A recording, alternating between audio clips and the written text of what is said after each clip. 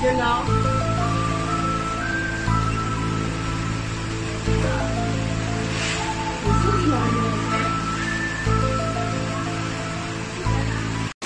So yung grabe guys, sobrang lakas niya. So ayun yung ano yung video ko. Hindi pa pala nakaalis.